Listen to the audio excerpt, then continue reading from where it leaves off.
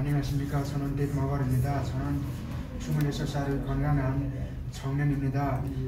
학교를 졸업할 때 아버지가 돌아가셨습니다. 어머니도 힘들어하셨고 집 형편도 많이 어려졌습니다.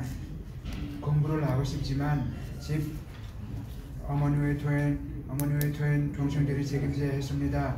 가족을 돌보기 위해서 정말 열심히 일했습니다. 힘들지만 일을 하면서 한국어 공부도 했습니다. 한국에서 일하고 싶습니다. 어떤 일들을 일을 할수 있습니다. 가족을 위해서 의사를 위해서 정말 열심히 일하겠습니다. 감- 고맙습니다.